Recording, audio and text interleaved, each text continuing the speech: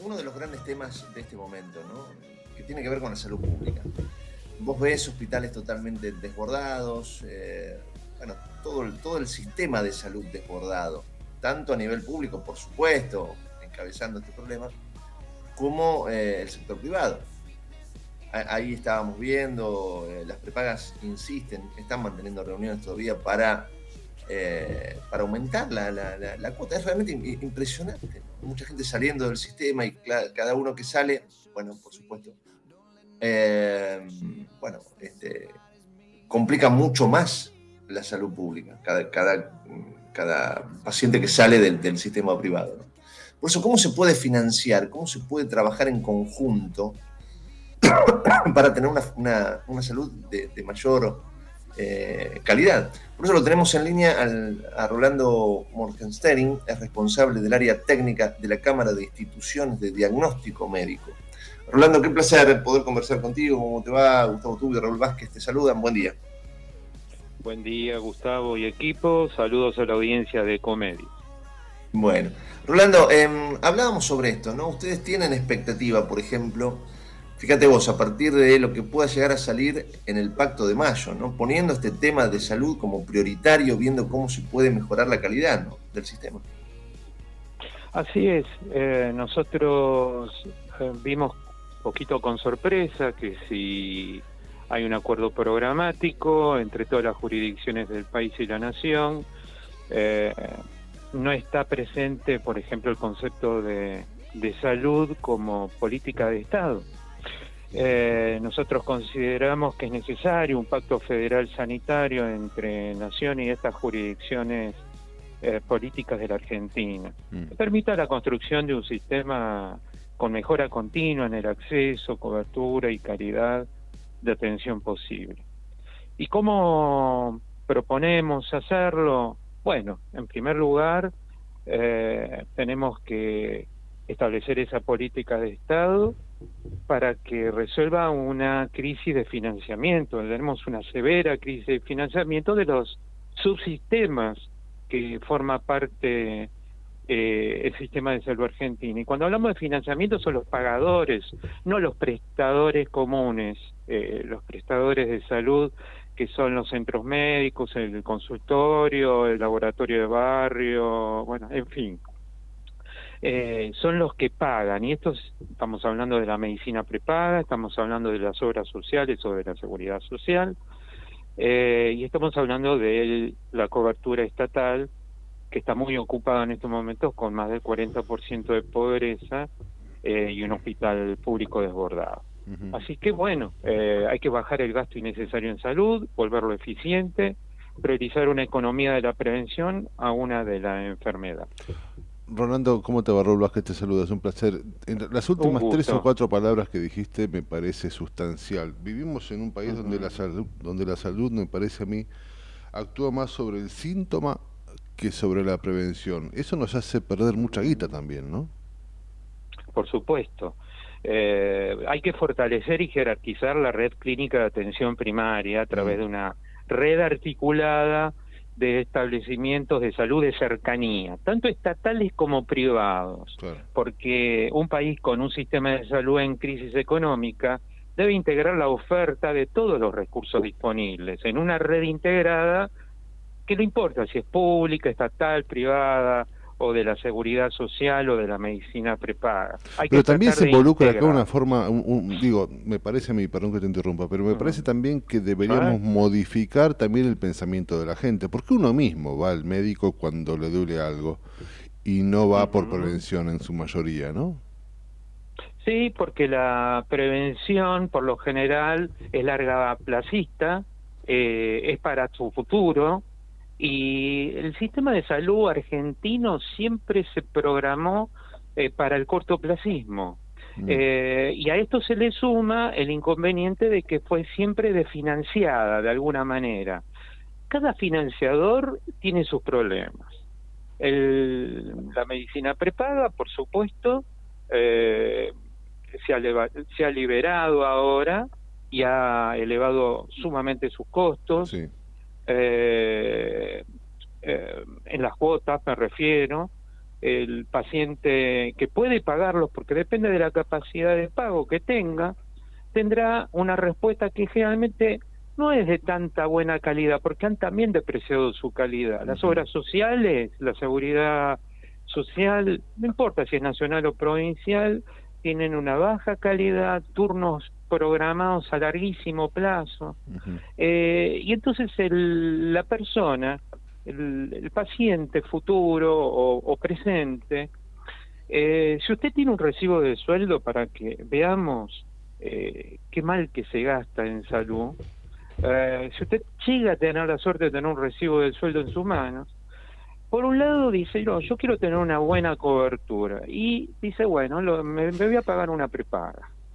Pero a su vez lo tiene que hacer a través de una obra social, eh, porque está obligado a aportar a una obra social. Eh, y a su vez tiene la ley 19032 que paga PAMI, que es otro subsector, si queremos llamarlo también y a su vez a través de los impuestos eh, de servicios públicos está bancando eh, los servicios de hospital eh, y centros comunitarios de atención. O sea que una persona que tiene un sueldo está bancando cuatro subsistemas, pero está usando uno, en definitiva.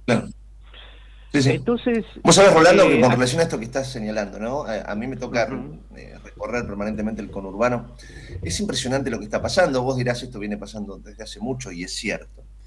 Pero eh, con, este, con, esta, con este problema tan grande que estamos atravesando con el, el dengue, ¿no? Eh, gente que llega a una guardia con fiebre, sin poder caminar, tipo 7, 8 de la mañana, recién es atendida a las 5 de la tarde. Esto genera, por supuesto, mucho malestar y, eh, un colapso total en el sistema de salud. Los médicos, los pocos que están atendiendo, no saben cómo, cómo atravesar esa situación, están de mal humor. O sea, hay todo un sistema eh, muy, muy, muy dañado.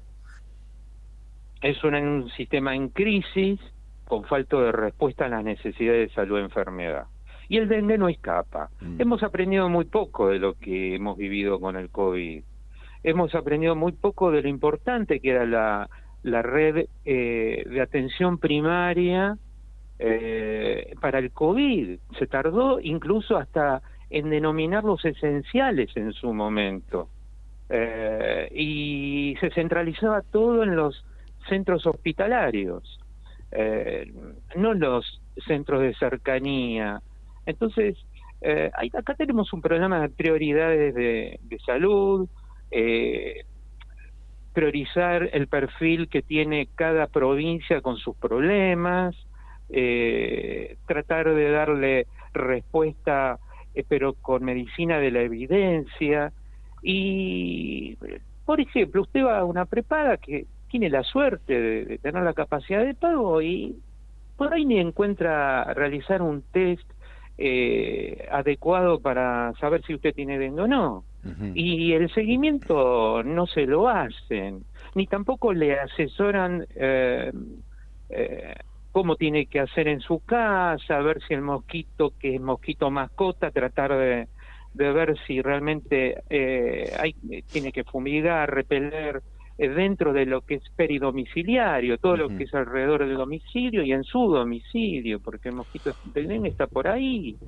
Eh, y por el otro lado tiene el hospital público, donde eh, no se le da mucha respuesta si no hay una acción programática. Yo rescato, por ejemplo, eh, bastante bien está trabajando el doctor Quiroz en la ciudad de Buenos Aires, en donde a los pacientes que tiene eh, dengue eh, posible, con síntomas de dengue posible, se le hace testeo, si tiene el testeo positivo, se le recomienda eh, una vacunación, porque generalmente son los más peligrosos, de tener después el dengue más problemático.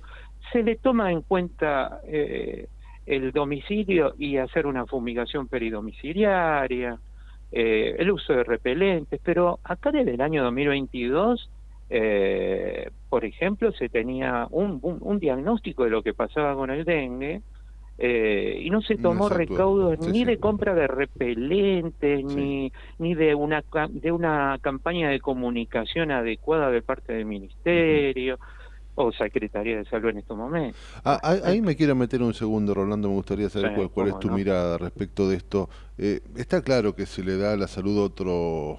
Eh, hay, otra mirada en este gobierno, ¿no? Desde, en principio, desde el hecho de que sea ministerio y ya ahora sea secretaría, es todo un síntoma.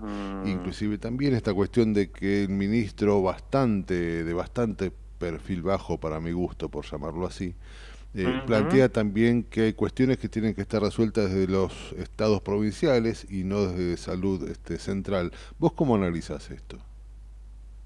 Eh, venimos con una mentalidad de un Ministerio de Salud eh, que tenía que regir, digamos, o centralizar todas las políticas. Mm. Y esto nos vino desde el eh, desde antes, pero para que la gente tenga más presente es el tema COVID. Yo voy a manejar el tema COVID, yo voy a manejar el tema de las vacunas, yo voy a manejar eh, cómo te tenés que cuidar, eh, si te tenés que encerrar o no, etcétera. Eh, y pasamos a esta etapa en donde se liberan de repente y las prepagas y las obras sociales tienen que competir libremente, no, esto no puede ser posible, ni por un lado ni por el otro. Porque una fuerte centralización no logra ver los dos márgenes del río eh, y, una liberación total es imposible cuando eh, no, hay una, no hay un mercado que pueda igualar una oferta y la demanda. Tenemos oligopolios, o sea entonces no puede haber ofertas y demandas de libre competencia. Entonces tiene que haber una integración mixta tiene que haber un concepto integrado. Eh, no se puede hacer eh, maravillas de un día para el otro, pero hay que empezar a planificar algo más serio.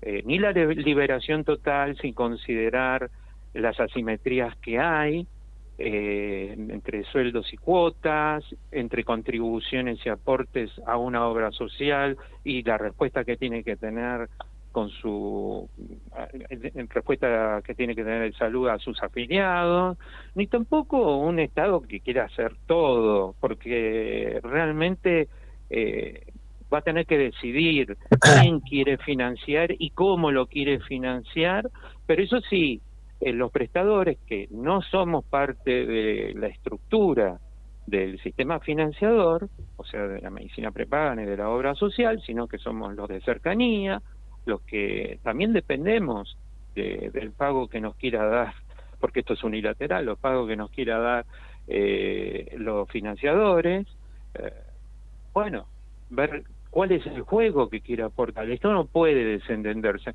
Por lo menos eh, una rectoría, porque parecería que este gobierno ahora quiere delegar totalmente, y esto constitucionalmente es así, no se puede negar, de que las provincias tomen las riendas de la salud de su población. Eh, me parece constitucional, está bien, pero un Ministerio de Salud tiene que tener una rectoría, tiene que tener una directriz, tiene que coordinar y garantizar la salud pública eh, y no puede desentenderse de eso. O sea que ni una total libertad del sistema, ni una total centralización.